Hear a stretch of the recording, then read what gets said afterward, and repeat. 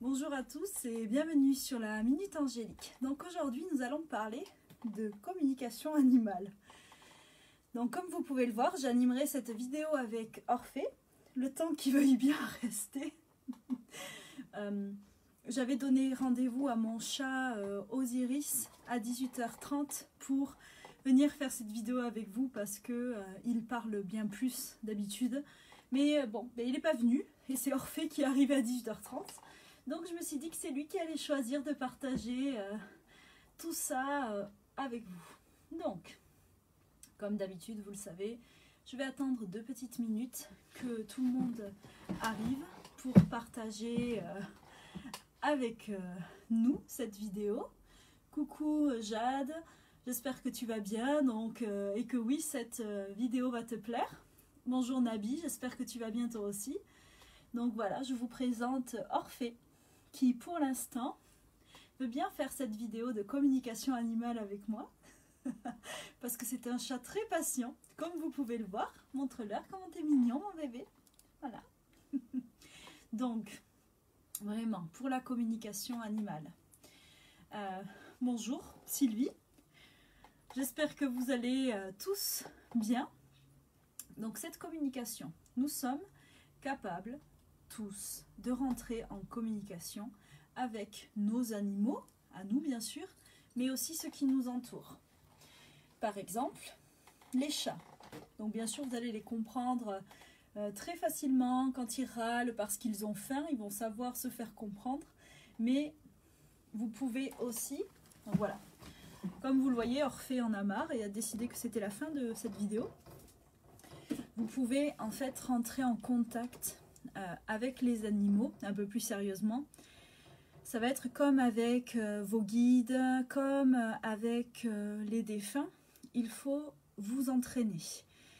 Quand vous avez un animal face à vous, si vous arrivez à capter son regard pour avoir une vraie conversation, pour aller un peu plus loin, ça sera vraiment plus facile de vous plonger dans son regard et d'ainsi le comprendre.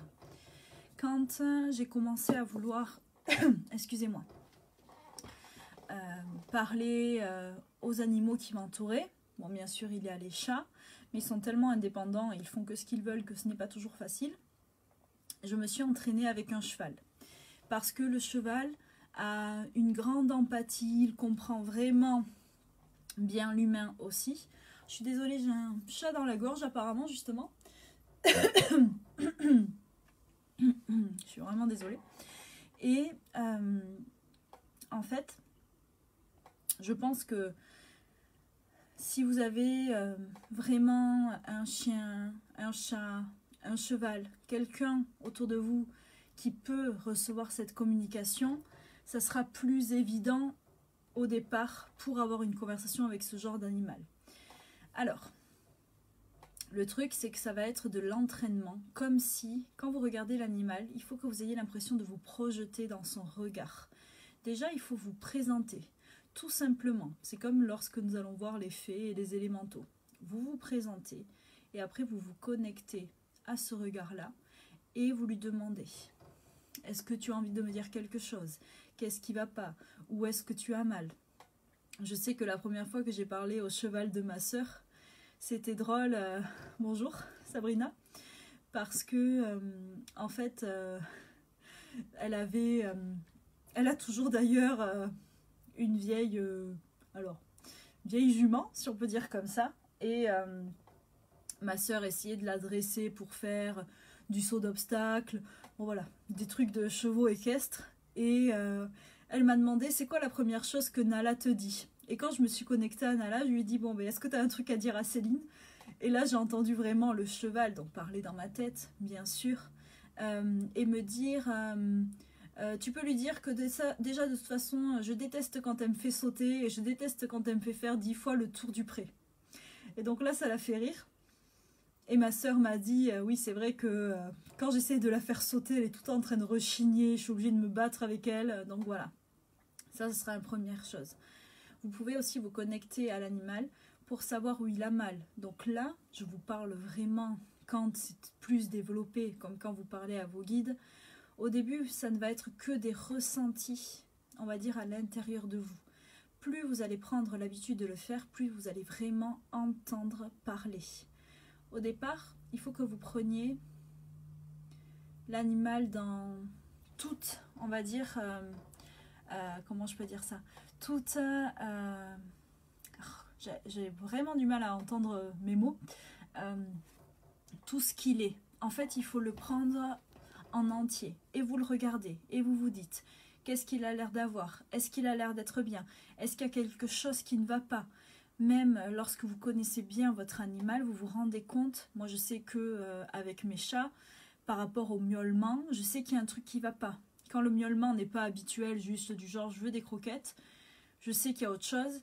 Et euh, là, je me connecte et j'entends. Donc ça, c'est quelque chose que vous pouvez développer. Après, il va y avoir aussi pour les petits animaux. Euh, moi, je sais que par exemple, là, euh, dans une de mes publications, une de mes clientes me disait qu'elle avait voulu prendre un papillon en photo et qu'elle n'avait pas réussi à avoir les ailes déployées. Donc là, c'est pareil. Vous pouvez même parler à un papillon. Par contre, il va être, falloir être très calme, très lumineux. Et je sais que quand, euh, avec ma meilleure amie euh, Jade, nous avons été au parc et qu'il y avait un papillon et que je voulais vraiment le prendre en photo, vraiment, vraiment euh, les ailes déployées, elle me regardait faire et je me suis mis à genoux, quoi, accroupie, et je regardais le papillon. Et je lui disais, s'il te plaît, je veux juste une photo, juste et laisse-moi t'approcher. Et même elle, elle a pu voir que j'ai pu m'approcher du papillon, j'ai mis mon visage à côté, et il n'a pas bougé.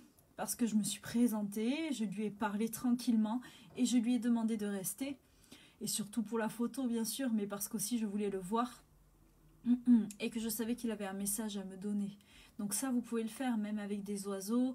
Euh, j'ai déjà eu des fourmis chez moi et je leur ai déjà demandé de partir. J'utilise pas d'insecticide. Euh, vous voyez ce que je veux dire C'est que je leur parle réellement. Donc voilà, même Nabi nous dit, même les insectes sont réactifs, mais bien sûr. J'ai euh, un copain aussi à moi qui avait des fourmis chez lui et ma collègue lui a dit, mais vraiment parle-leur et dis-leur de partir. Et elles sont parties. Bon là j'essaye chez euh, les puces chez moi, pour l'instant ça marche. Mais oui, tout le monde est réceptif. Les insectes comme les autres ont euh, euh, une, ils peuvent ressentir, ils ont une âme, ils ont un esprit, donc oui, bien sûr qu'ils entendent. sur quoi aussi j'ai testé, donc comme je vous ai dit, les fourmis. même sur les lézards, là, je suis en train d'essayer de les dresser à ne pas s'approcher de la maison parce que sinon ils vont se faire attraper par mes chats mais bien sûr que vous pouvez leur parler et je peux vous dire que vraiment, euh, quand vous connectez avec un animal, même un oiseau, que vous le regardez et que vous fixez toute votre attention sur lui, vous ressentez quelque chose. Bien sûr que des fois, il n'a rien à vous dire, donc ça peut vous paraître plus difficile. C'est sûr que si vous essayez de connecter, euh, je sais pas, avec euh, une coccinelle ou euh, un escargot, ça peut vous paraître un peu compliqué. Mais euh, là, hier, j'ai été euh, dehors. Bon, juste sur le moment, c'était un retour d'une mini balade autour de, du, comment, du carré que nous avons le droit de faire. Et j'ai vu un chat, un peu, pas très loin de moi, mais un petit peu loin. Et je voyais qu'il était craintif et euh, je l'entendais parler dans sa tête. Hmm, je l'ai déjà vue, elle. Est-ce que je vais la voir Est-ce que je vais pas la voir Mais j'aimerais bien avoir des caresses et euh, je sais pas. Et donc dans ma tête, je lui ai parlé et je lui dis viens, tu peux venir, tu ne crains rien. Allez viens, je sais que tu as envie de venir. Mais vraiment comme si je parlais naturellement à quelqu'un. Puis là je le voyais hésiter. Je lui dis allez, arrête d'hésiter, c'est bon, viens. Et c'est comme s'il me disait ok. Et il est venu. Et il est venu se faire caresser, donc j'attendais aussi un message de mes guides qui m'est parvenu euh, par lui. Donc euh, Bobby que j'ai appris après parce que son propriétaire l'a reconnu. Mais voilà, il m'a délivré le message que j'entendais, mais c'est parce que moi je suis sûre que ça marche. Quand Nabi nous dit c'est un don, ça non, pas donné à tous de faire ça. Bien sûr qu'il y en a qui vont avoir plus de facilité, comme je le disais pour les communications euh, défunts, anges et tout ça, mais c'est de l'entraînement et c'est surtout euh, de la foi. si ma collègue Claire m'entendrait dire ça, elle serait très fière de moi, mais oui, c'est de la foi. Il faut croire. Moi, je suis persuadée que ça marche. Je suis persuadée que je peux le faire. Et donc, ça marche. Ça vient pas comme ça en claquant des doigts. Moi, ça fait très longtemps que je travaille ces capacités-là et qu'elles sont, euh, euh, comment dire ça, en augmentation aussi, ce qui me permet d'avoir plus de ressenti et de mieux capter toutes ces énergies-là. Mais tout le monde peut le faire. Personne n'a l'excuse de ne pas pouvoir y arriver parce que nous venons tous avec ces potentiels à nous. Il suffit juste d'aller les chercher et d'y travailler. Mais je peux vous jurer que chacun de vous est capable de connecter. Je fais même des stages ou des ateliers pour que les gens viennent euh, capter les défunts. Ils n'ont jamais parlé à un défunt, ils n'ont pas plus de prédisposition que ça, mais ils veulent savoir comment on fait, comment ça marche. Et je leur fais tester et euh, en leur disant ne vous servez pas de votre mental, je vous dis que vous êtes capable, croyez pendant 5 minutes que vous êtes capable de capter un défunt. Et euh, donc on le fait avec des supports photos et tout ça. Et ils sont étonnés parce que tous arrivent à capter un truc. Alors que ce sont des photos d'inconnus, d'autres personnes qui sont présentes, de leurs parents, de, voilà, des gens de leur famille qui sont là, et tous arrivent à capter un truc et ils ne comprennent pas. Mais je leur dis c'est parce que c'est un potentiel qui est enfoui en nous. Le souci c'est que on nous dit depuis des lustres qu'on ne peut pas le faire. Dans la société dans laquelle on vit, on ne peut pas être ces êtres, euh, comment je vais dire, extraordinaires qu'on a la capacité d'être à l'intérieur de nous. Et vu qu'on vous dit tout le temps que vous n'êtes pas capable et que c'est magique et qu'il faut avoir un don, vous pensez qu'il faut avoir un don. Moi, je vous dis qu'il ne faut pas avoir de don. Je vous dis que c'est en nous. Chacun a ce potentiel-là et chacun peut décider de le révéler ou non. C'est tout. Coucou euh, Fabrice et Claire, je vois que vous venez de nous rejoindre. Donc vraiment, ce n'est pas une affaire de don et ne vous dites pas cette personne elle a un don. Non, vous êtes tous à même de le faire.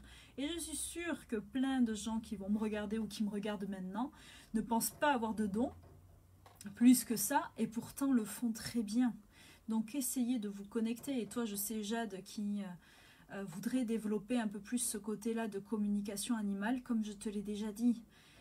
Les techniques, ça va être euh, comme avec les humains, ça va être vraiment de chercher à te connecter, faire le vide dans ton, en toi, lâcher prise et écouter ce qui te vient, ce que tu ressens dans ton cœur, dans ton âme, et ça va se faire petit à petit. Après, il faut croire, il faut arriver à comprendre aussi que certains animaux ne voudront pas parler. Et puis, ils ont le droit de pas vouloir à ce moment-là, pas comme ça. J'ai déjà essayé de reparler au cheval de ma sœur. Je l'ai fait à plusieurs reprises. Mais je sais que la dernière fois où je l'ai fait, je voulais faire justement euh, cette vidéo sur la communication animale. Ben, c'était pas le jour, elle avait pas envie, euh, presque je la saoulais, on a fait des photos et je voyais qu'elle en avait marre, donc c'était pas le jour. Et ça, vous pouvez aussi le comprendre. Et là, il faut se demander, est-ce que euh, c'est... comment je vais dire ça? Est-ce que c'est parce qu'il l'animal n'est juste pas bien ou est-ce qu'il n'a pas envie? C'est comme un humain qui n'a pas envie de vous parler, mais il n'a pas envie. Et donc là, comme c'est un animal, il est encore plus indépendant, il fait ce qu'il veut. Après, vous verrez que les chiens aussi sont très très expressifs. Eux, je pense qu'on peut leur parler euh, assez facilement et puis comme ils aiment souvent euh, leur humain, ils viennent le voir. Donc euh, Nabi qui nous dit je communique tous les jours avec des animaux, il n'y a rien à faire, je comprends pas. Donc je ne sais pas si tu parles de vrais animaux ou pas. Mais c'est parce que tu n'y mets pas ton cœur. Vraiment, la communication animale est donnée à chacun de nous, mais il faut croire être connecté, il faut croire faire partie de tout ce système, de cette planète. Et comme je vous le dis, pour moi, euh, il n'y a pas de hasard. Si je remarque un animal dehors, un insecte, c'est qu'il y a quelque chose. Même aux araignées, je leur parle parce que j'ai pas envie de les écraser et donc je leur demande de partir. Et j'avais euh, une de mes protégées qui tous les jours avait des araignées sur elle, dans son lit, dans sa voiture, elle n'en pouvait plus. Mais comme elle avait demandé des messages et que l'araignée était le meilleur moyen de lui faire transmettre ce message-là, ben, l'araignée avait choisi euh, de venir la voir, ce, ce guide, ce totem. Et je lui ai dit un jour, parle-leur, dis-leur, euh, je peux pas, c'est pas ma faute, mais vous me faites peur, donc ok, je vais chercher votre symbolique, je vais essayer de comprendre le message, mais s'il vous plaît, ne revenez plus. Et elle m'a dit, euh, j'y croyais pas, mais j'ai plus eu d'araignée, quoi. Alors que ça faisait euh, des jours et des jours, même des semaines qu'elle en avait tout le temps et qu'elle en pouvait plus. Je lui dis, tu vois, je t'avais dit, il faut juste leur parler, leur dire que tu ne veux pas, que tu vas essayer de comprendre autrement, mais que là, ce moyen-là n'est pas possible. Et ainsi, vous allez comprendre. Une fois, j'ai été aussi faire une connexion à la nature avec une de mes amies, Emma. Et tout le monde était assis dans l'herbe, on était sur des petits draps, des petits plaids. Et moi, j'avais plein d'insectes sur moi et je pouvais pas parce que ça me faisait un peu peur. Et euh, ils montaient sur moi, j'avais des araignées, j'avais des... Comment on appelle ça euh, J'avais même eu un moment donné, ah, je sais plus, mais moi j'ai très peur des insectes sur le moment où ça ne m'allait pas, maintenant ça va mieux. Et je lui ai dit, non mais il faut vraiment qu'on arrête là, moi je peux plus. Hein. Et elle me dit, mais s'ils sont là, c'est parce qu'ils ont envie d'être avec toi, ils ont envie de t'apporter un message. Ah mais c'est sûr que là j'étais méga connectée. Hein. À, chaque, euh, à chacun des insectes qui est dans le coin, et je lui dis par contre je veux pas de serpent. Je lui dis parce que je peux pas. Et donc j'ai demandé à tous les serpents qui étaient dans les environs de ne pas venir parce que ça me fait très peur. Et elle m'a dit, c'est trop drôle, parce qu'elle m'a dit quand je t'ai vu repartir euh, à ta voiture, elle m'a dit que tu as démarré elle, m'a dit, j'ai regardé à mes pieds, il y avait un serpent. Elle, ça lui fait pas peur, donc euh, voilà. elle m'a dit, j'ai tellement pensé fort à toi, et je me suis dit qu'il t'avait vraiment écouté. Donc oui, si vous voulez parler aux animaux, vous le pouvez, ils vous écouteront. Et après, pour ce qui est d'établir un peu plus une communication pour un diagnostic, pour les thérapeutes qui voudraient aussi les aider, c'est pareil. Je vous le dis, connectez-vous, faites le vide, respirez et ressentez. L'animal vous aidera. Euh, vous aidera à comprendre, vous fera passer un message d'une manière ou d'une autre. Et ainsi, vous pourrez les aider, savoir où ils ont mal, pourquoi. Euh, moi, je sais que mes chats, je ne les soigne que avec euh, mon magnétisme, ma lumière, et que ça se passe ainsi. Quand il y a un truc, je demande, je me connecte. Bon, bien sûr, des fois, je demande aussi des confirmations pour être sûr, parce que c'est plus compliqué quand c'est pour nous-mêmes. Mais je suis persuadée de ce que je ressens, je suis persuadée que je peux les aider. Et euh, mon chat était malade euh, il y a quelques temps et j'étais persuadée que je pouvais le faire. J'ai demandé, je lui ai demandé à lui est-ce que tu penses que je peux te guérir? Et euh, c'est presque comme si j'avais entendu qu'il me faisait confiance et qu'il me disait oui. Et même l'orphée, le chat que vous avez vu, n'est pas du tout très sociable. Il est un peu sauvage. Et quand j'ai vu qu'il venait, qu'il est venu là à 18h30, je lui ai dit euh, Bon, Orphée, je sais que t'aimes pas trop, mais je vais te demander de juste venir dire euh, bonjour euh, deux minutes. Et il est venu, il est resté calme dans mes bras, vous avez vu. Genre, je l'entendais penser Bon, ok, c'est bien parce que c'est toi et que tu m'as donné des croquettes, je reste deux minutes, mais pas plus. Donc voilà, c'est vraiment.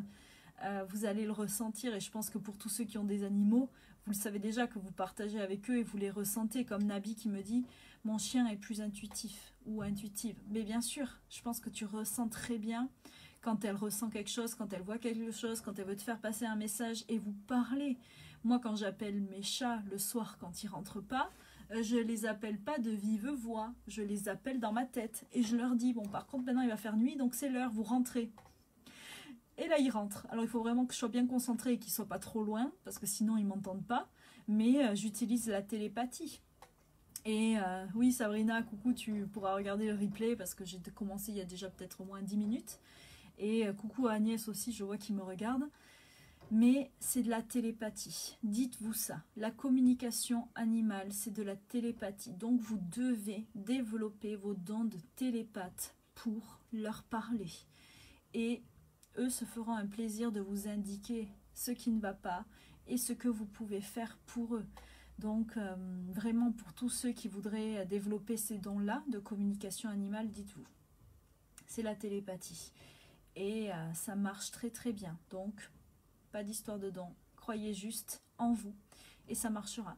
Donc j'aimerais bien savoir quand même si euh, dans les commentaires de, par rapport à ceux qui me regardent, est-ce qu'il y en a certains de vous qui parlent avec leurs animaux ou avec les animaux en général? Est-ce que ça vous arrive?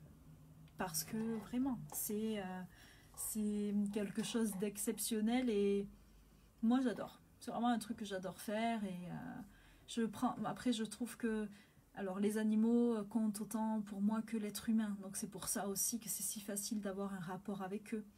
Et tous, je leur dis tous bonjour, euh, n'importe quel animal, n'importe quel insecte que je croise, je leur dis bonjour parce que je sais que ce sont des messagers et je les remercie aussi d'être là parce qu'ils m'aident beaucoup et que ben, c'est beau un animal à voir. Donc il faut aussi euh, pouvoir euh, remercier euh, la nature de ça.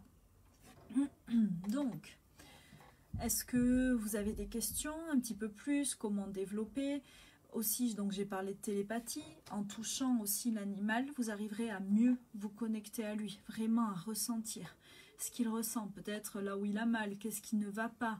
C'est vraiment euh, quelque chose que euh, vous pouvez, euh, comment dire ça, ressentir. Donc c'est pour ça, d'abord lui parler, vous connecter à lui, vous présenter et après le caresser. Et en le touchant, ainsi, vous allez pouvoir établir un autre contact un peu plus fort, comment dire ça, un peu plus privilégié aussi. Donc s'il peut, l'animal vous répondra à ce moment-là. Nabi, je ne veux pas savoir à qui tu parles parce que voilà, c'est une vidéo sérieuse.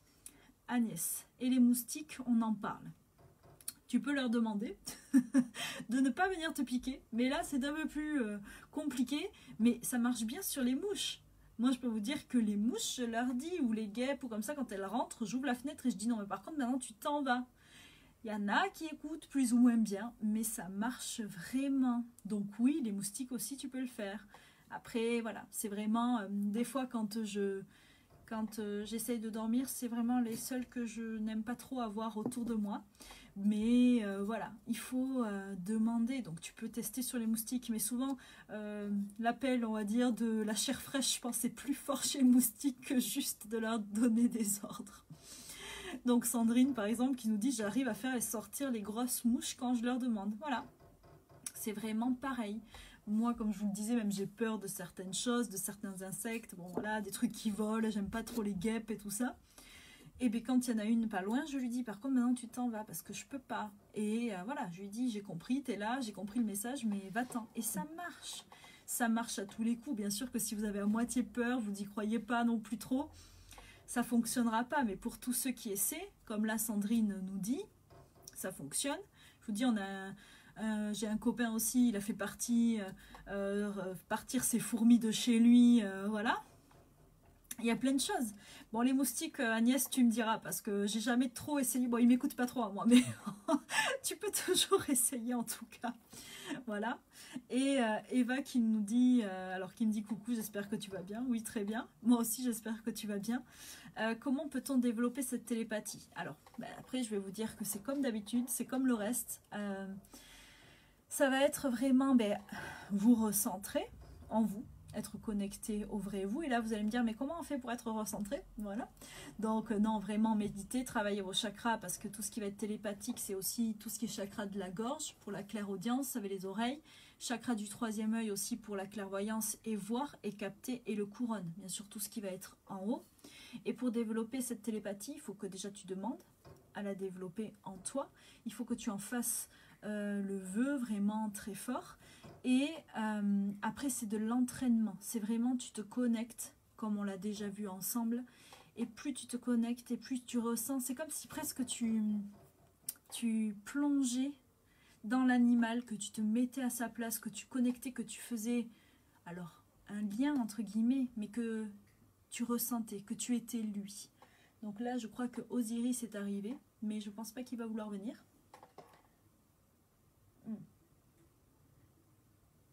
Il a arrêté de manger parce qu'il a entendu que je l'appelais dans ma tête. Mais je pense pas qu'il va venir nous faire, euh, nous montrer euh, sa présence. Je crois qu'il n'a pas envie. Osiris? Hmm. Non, je pense qu'il faut pas rêver. Mais voilà, Eva, c'est vraiment euh, envie. comment je vais dire ça? Ça va être aussi chercher à développer cette télépathie. Donc après, faites attention, ne la développez pas avec tout le monde. Et pas avec euh, les humains non plus, parce qu'on n'a pas trop le droit de lire dans leur tête, même si parfois ça se fait tout seul. Il y a des gens aussi qui vont avoir plus cette facilité-là. Euh, je sais qu'avec ma sœur, pendant un petit moment, j'entendais tout ce qu'elle pensait. Donc moi, je trouvais ça drôle. Elle, moi. Mais voilà, c'est vraiment une connexion euh, d'âme à âme. Une connexion, là, j'entends, parce qu'aussi, heureusement, on me fait des petits... On me donne des petites idées. Ça sera... Cette télépathie, c'est vraiment une connexion d'âme à âme. C'est comme ne faire plus qu'un avec cet animal. C'est pour ça qu'il faut croire. Il faut ressentir autant son âme que la vôtre et être connecté à lui. J'ai déjà fait aussi des connexion avec des animaux qui étaient déjà partis. Et c'est pareil, c'est croire euh, qu'il est possible, de croire aussi que ces animaux aient une âme, euh, un esprit, euh, qu'ils puissent vous aider. Et voilà, c'est remettre vraiment leur rôle de guide au cœur de ce que vous voulez faire et leur importance et vouloir les aider. Bien sûr, voilà, comme tu dis, Nabi, c'est un tout, en somme. C'est être tellement persuadé, tellement ressentir la planète qui vous entoure. Et quand vous allez être super connecté, ça va être encore plus facile pour vous. Quand hier je suis sortie, comme je vous expliquais, j'ai demandé euh, à Ariel, l'archange, de m'accompagner. Donc c'est l'archange de la nature et je lui ai demandé des, euh, des signes. Et quand je suis sortie, j'ai vu deux papillons euh, s'enlacer, euh, danser ensemble euh, dans une parade amoureuse et je me suis dit déjà ça, ça commence bien. Et après j'ai fait toute ma petite promenade, j'ai vu plusieurs petits papillons et quand je me suis assis, assise, j'ai vu ce chat. Et mais j'étais ultra connectée. Ah mais il est là mon chat. Osiris, viens, viens, viens, viens ici. Bon, il râle. Mais voilà, c'est vraiment euh, comment vous dire, je ressentais la terre, j'avais mis mes pieds dans la terre, je m'étais ancrée, j'étais vraiment connectée, j'avais touché chaque arbre que j'avais croisé. Euh, voilà. Viens Osiris, viens au lieu de pleurer. Bon, voilà, il est peut-être pas d'humeur. Viens, viens, allez, viens, viens, allez, allez, allez, allez. Allez, viens. Voilà, donc Osiris vient vous faire un petit coucou. Donc tu peux parler aux gens. Alors vous pouvez regarder Osiris dans les yeux et lui demander de se connecter avec vous. Donc oui, comme tu demandes Eva, l'animal peut refuser de créer cette connexion. Bien sûr, il peut ne pas avoir envie, c'est pas le jour ou tu lui plais pas. C'est pour ça qu'il faut vraiment bien se présenter d'abord à l'animal, lui expliquer ce que vous faites là, concrètement, qu'est-ce que vous attendez de lui, qu'est-ce que vous voulez. Et là, à ce moment-là, il pourra vous répondre. Et vous savez, il y a même certains animaux qui soignent. Les chats, par exemple, soignent, enlèvent le sombre euh, qui peut y avoir autour de vous, vous protègent. Les chevaux aussi sont... Alors, voilà, il ne faut pas les charger, bien sûr, parce qu'un cheval est très empathique. Et si vous êtes triste, il va prendre euh, votre peine. Moi, je sais que euh, je me suis déjà fait faire des soins, entre guillemets, par le cheval de ma sœur. Et s'ils peuvent vous enlever votre peine et vous mettre de la lumière à la place, ils le feront. Donc euh, voilà, Jade, quand tu viendras, tu t'entraîneras avec Osiris. Parce qu'Osiris aime beaucoup parler. C'est un chat euh, qui a beaucoup de conversations, il aime beaucoup qu'on l'écoute et même des fois il est triste parce que je ne prends pas le temps de l'écouter. Mais voilà, c'est vraiment... Euh, vous verrez, il y a certains animaux qui sont bien plus aussi... qui aiment beaucoup plus parler, qui sont plus faciles. Il y en a, ils vous défient du regard et vous savez déjà qu'ils n'ont pas envie. Moi, certains chiens, j'arrive à leur parler, mais d'autres, euh, c'est comme si j'entendais euh, qu'est-ce que tu veux toi? Donc euh, là, je laisse tomber. Et après, vous verrez, plus vous allez vous entraîner à développer cette télépathie, plus les animaux la ressentiront et aussi viendront vers vous. Comme je vous dis, là, Osiris, depuis qu'on a demandé, qu'on a commencé la vidéo, je fais que l'appeler dans ma tête. Il a mis un peu de temps, mais il rechignait un peu, mais il est venu. Donc, voilà. Pour vous, ça sera pareil. Développer, cette télépathie avec tout. Euh, je sais que euh, avec tous les animaux euh, possibles, je sais que quand Jade avait eu son cochon d'Inde qui était malade, à distance, je lui faisais des soins, je me connectais à lui, je lui demandais ce qui n'allait pas et voilà. Et ça marchait très bien. Donc c'est à vous de croire aussi.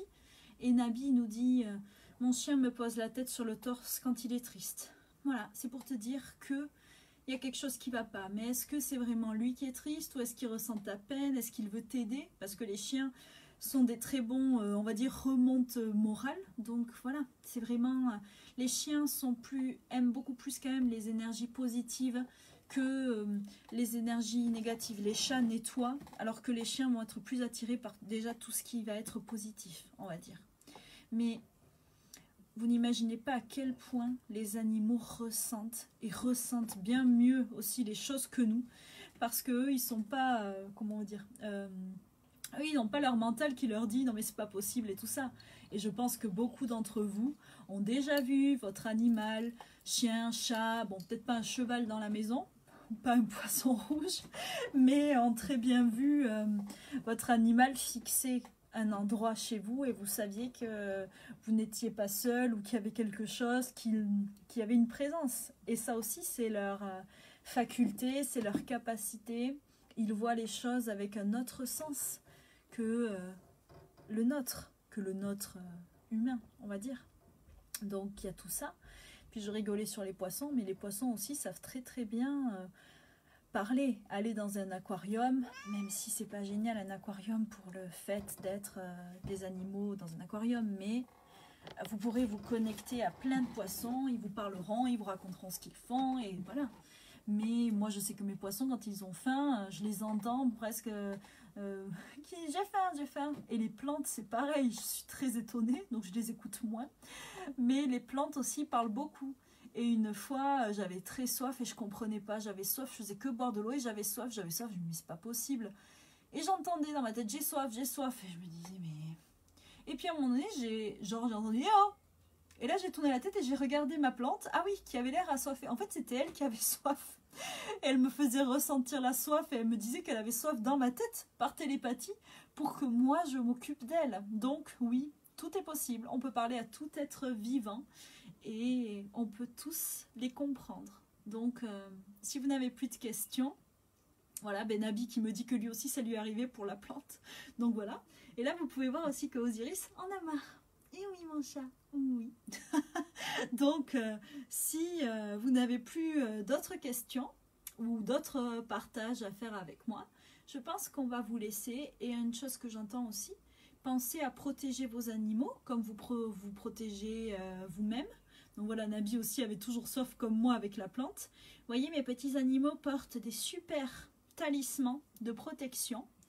Et aussi, je leur mets une bulle. Donc quand ils se baladent, ils ont une petite bulle de lumière tout autour d'eux pour être sûr qu'ils soient bien protégés. Et euh, voilà, donc vous pouvez faire tout ça. Et voilà, Agnès nous dit, c'est vrai, mon chat est venu me faire un câlin quand j'étais triste. Mais oui, ils ressentent. C'est vraiment euh, fou. Euh, moi, je sais que aussi les couleurs des chats n'apportent pas les mêmes choses. Osiris, lui, va venir vraiment euh, je sais pas, en général, pour me dire qu'il est là, pour me faire des câlins, pour euh, voilà, me faire vraiment euh, une compagnie. Alors que Orphée vient beaucoup moins sur moi, mon chat que vous avez vu qui est noir.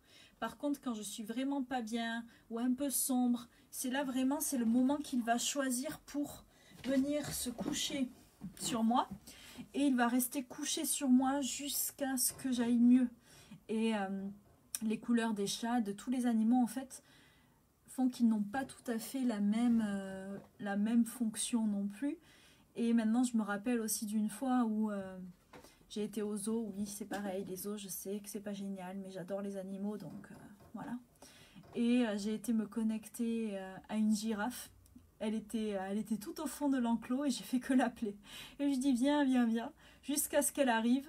Et, et là, j'ai pu la regarder, je lui ai caressé le visage, je lui ai dit merci d'être venue et j'ai senti toute cette connexion avec elle. Bon, après, elle était un peu triste, donc euh, voilà, je lui ai envoyé pleine lumière, mais euh, vous n'imaginez pas tout ce que l'on peut faire. Si vous arrivez à croire que vous êtes magique, vous n'imaginez pas tout ce que l'on peut faire. Et comme je le répète, il n'est pas histoire de don. Vous êtes capable de tout ce que vous voulez réaliser. Vraiment, tant que c'est par amour, par bienveillance et pour aider les autres. Donc Eva qui nous dit Je ressens une connexion aux plantes et aux arbres tellement fort que je me prends pour Galadriel. Merci pour tous tes conseils. Mais voilà, c'est ça le but faire partie de ce tout, être connecté à ce tout et euh, vraiment ne faire qu'un avec tout ce qui nous entoure. Euh, Nabi qui me dit très beau chat, merci beaucoup. Et ça aussi c'est pareil pour les animaux domestiques. Vous pouvez appeler, demander à recevoir un familier à recevoir un animal dont vous avez besoin et on vous enverra celui qui est fait pour vous, celui qui peut vous aider vraiment. C'est très très important et vous le verrez. Il n'y a pas de hasard non plus et euh, je sais que moi dans ma famille quand j'étais petite on a souvent euh, sauvé plein d'animaux. Euh, ma mère, chez ma mère c'est l'hôpital de tous les animaux malade, brisée. Dès qu'il y en a un qui est malade, il finit chez elle et elle, elle explique pas, elle sait pas, mais ils vont tous mieux après. Elles ressentent tous, là vraiment, elles ressentent tout ce qu'ils ont. Et donc voilà, elle, elle n'a, si vous lui demandez, elle n'a aucun don, elle ne sait pas, mais elle sait. C'est comme ça, c'est en elle, c'est ce qu'elle est venue faire. Donc voilà. Et euh, Nabi qui me dit on ressent autant lors d'un traumatisme comme un accident. Donc là, je n'arrive pas à comprendre le rapport. Donc si tu veux remarquer ta question autrement, parce que je ne comprends pas. Mais voilà, oui, comme tu dis Eva, quelle belle histoire. Mais vraiment, moi j'adore. Je me connecte, euh, voilà, j'adore. Quand je vais aux zoos, à tout le monde, aux singes. Bon, les singes, c'est un peu bizarre parce qu'ils sont un peu farceurs. Les éléphants, j'adore. Voilà, je sais que les zoos, c'est pas top. Mais je suis triste qu'ils soient dans des zoos, mais bon, j'adore aussi aller les voir. Donc, euh, c'est un peu le, le voilà, paradoxe. Mais euh, vraiment, j'adore voir cette grandeur, cette beauté qu'ils ont. Et euh, bien sûr, après que l'exploitation animale, c'est pas génial. Mais voilà, vraiment, en tout cas pour la communication animale, entraînez-vous. Et euh, si tu veux, Jade, un jour, euh, on ira toutes les deux s'entraîner à euh, parler avec les animaux. Donc j'imagine après tous ceux qui ont, qui habitent dans des contrées où il y a de plus grands animaux, pouvoir parler à des cerfs. je pense que j'aimerais trop un jour dans la forêt.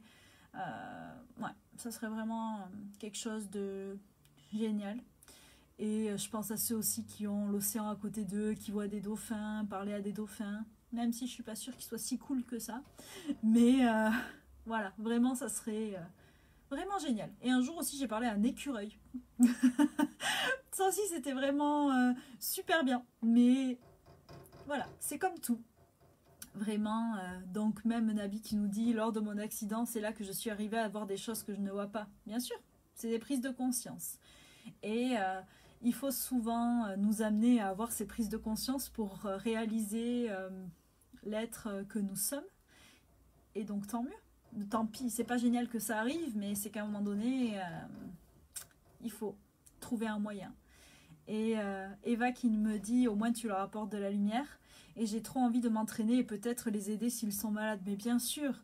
Et aide-les. S'ils sont malades, aide-les. C'est... Tu n'imagines pas tout ce que l'on peut faire et entraîne-toi, oui, c'est génial. Et comme je le disais, euh, si vous êtes sûr de ce que vous pouvez faire, tu n'étais pas là au début, mais je parlais du papillon euh, que j'ai voulu prendre en photo quand j'étais avec Jade euh, dans un parc. Je me suis collée à lui, quoi. J'avais mon visage contre lui, et des fois, quand j'appelle les papillons, je mets mon doigt et ils viennent. C'est vraiment parce qu'ils ont envie, hein, bien sûr. Mais c'est un truc, si tu leur demandes et qu'ils sont disposés, tu peux parler à tous et ils t'aideront, ils feront tout ce qu'ils peuvent. C'est vraiment le monde dans lequel on vit, si on choisit euh, bien sûr d'y croire. Et euh, oui, moi la cause animale, euh, si je peux les aider, je le fais toujours, c'est important. Et voilà. Et Sandrine qui nous dit c'était comme ce petit ressent qui a atterri chez moi. Je sentais au plus profond de moi qu'il n'était pas bien. Voilà, tu le savais. Et tu as choisi de l'aider, tu as choisi de l'accompagner, d'être là pour lui d'être sa lumière. Et donc c'est super important.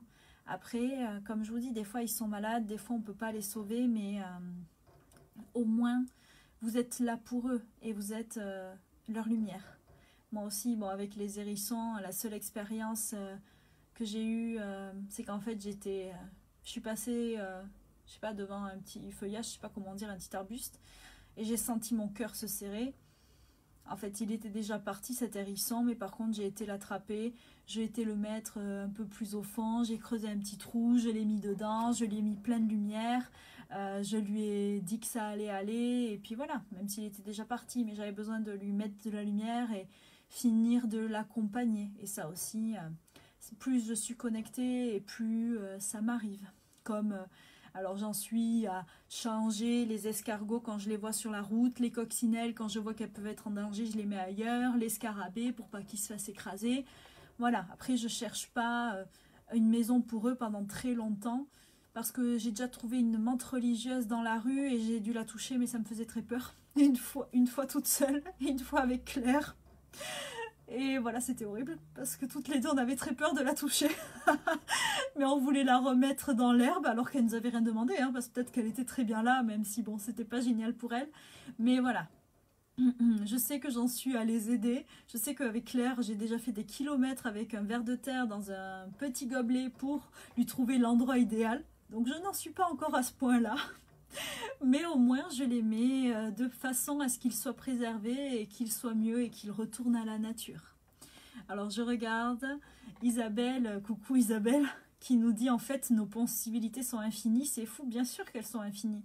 Il vous suffit juste d'y croire. Mais vraiment, tout est, tout est magnifique et tout est magique autour de nous si on veut y croire. Et ça nous permet aussi de mieux supporter le monde euh, qui nous entoure. C'est tout simple.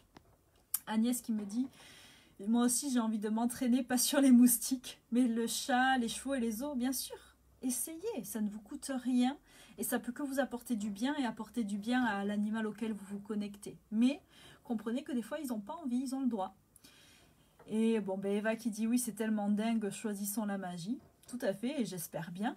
Et Nabi qui nous dit une fois en me promenant dans les bois, j'ai remarqué des croix de bois à deux brindilles le long des chemins et j'ai compris pourquoi. Alors je sais pas, il faut que tu m'expliques parce que moi je sais pas pourquoi, je sais pas à quoi ça sert. Et euh, oui, bien sûr qu'on est poussé à, faire le bien. Et heureusement, on est des lumières, on vient pour ça. Personne n'est poussé à faire le mal. Hein. Vous savez, c'est juste un choix, vraiment. Mais oui, on est entouré de tant de magie. Si vous choisissez de voir la magie, elle est autour de vous. Ce sont des choix, ce sont euh, des comportements, ce sont des personnalités, ce sont des modes de fonctionnement, c'est ce qu'on vous a appris. De toute façon, qu'est-ce que ça coûte de croire qu'on vit dans un monde euh, magique, féerique, enchanté euh? En tout cas, moi, il n'y a que comme ça que j'arrive à le trouver mieux, mieux, entre guillemets, plus facile et plus beau pour moi. Donc c'est comme ça, c'est mon avis, c'est ma vérité à moi, c'est mon monde à moi. Et j'aimerais vraiment pouvoir vous montrer. Euh, là, je me connecte de plus en plus à ce que j'ai envie de faire en tant euh, qu'inspiratrice angélique. Et euh, c'est ça, vous inspirer à choisir la magie, à voir à quel point le monde peut être beau et surtout tout ce que l'on peut faire et tout ce que l'on peut aider, tout ce à quoi on peut être connecté. Il existe aussi les élémentaux, les fées, les lutins, les nymphes des eaux, les arbres, tout ça aussi. Ce sont des choses qui existent et auquel vous pouvez vous connecter, dont vous pouvez vous rapprocher, dont vous pouvez demander de l'aide aussi. Après, il suffit de croire. Voilà. Bien sûr que pour certains, je paraîtrais un peu perché ou étrange ou bizarre ou folle, ou... mais c'est pas grave. C'est le monde dans lequel j'ai choisi de vivre et euh, c'est le monde dans lequel euh, j'aimerais euh, vous emmener. Et oui, toi aussi, Nabi, tu es une vibration angélique comme moi. Tous les onze, sont des vibrations angéliques. Nous sommes des inspirateurs. Donc, moi, j'essaye de plus en plus de, de me rapprocher de cette vibration-là. Donc, euh, merci à toi, Eva, de me dire qu'en partageant mes expériences, tu le fais je le fais déjà, pardon. Mais j'espère bien et j'en suis très contente. Et euh, j'espère que ça pourra continuer euh, ainsi. Et donc, si vous n'avez plus de questions, je vais juste vous dire pour demain. Donc je vais faire cette méditation avec euh, Aphrodite. J'en ferai une aussi jeudi. En plus c'est la pleine lune. donc vous pourrez faire vos petits élixirs de lune en même temps. Et jeudi par contre elle sera autour de Ra normalement, de l'Égypte. On va voir. Mais ça devrait être le dieu Ra ou Ré. Voilà. Ça dépend des gens. Et voilà. Et après, pour demain, Aphrodite, la beauté, l'harmonie, la légèreté, la connexion aussi au soleil, la connexion à toute la nature, à l'eau, aussi beaucoup très, importante l'eau, à tout ce qui nous entoure. Donc euh, demain, ça sera vraiment retrouver cette féminité, mais ça peut être aussi pour euh, tous les hommes qui ont envie de la faire, bien sûr. Et, euh, et après, voilà, jeudi, ça sera plus autour de... Ce sera une divinité du soleil aussi normalement. Euh, donc euh, là pour euh, le Beltan, je m'étais connectée à Bélénos, mais ce ne sera pas lui. donc je pense, voilà, comme je vous ai dit, à voir. Je pense que ça sera Ra, mais je ne sais pas. À voir, parce que j'ai aussi eu Hélios, mais je vous dirai. C'est grec, Hélios est grec, mais je pense que ça sera une divinité égyptienne. Donc voilà, et bien sûr que Evanudi Nabi nous inspire aussi, en tout cas il participe beaucoup, et comme ça, ça nous fait avoir plein de questions et euh, plein de commentaires et plein de réflexions, donc ce qui est très important. Donc merci Nabi.